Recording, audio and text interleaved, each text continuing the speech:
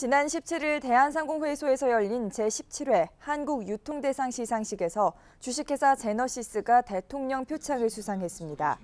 한국유통대상은 물류 유통과 관련 산업 분야에서 고객 서비스 혁신과 동반 성장, 고용 창출 등에 공헌한 기업과 유공자를 시상하는 제도입니다.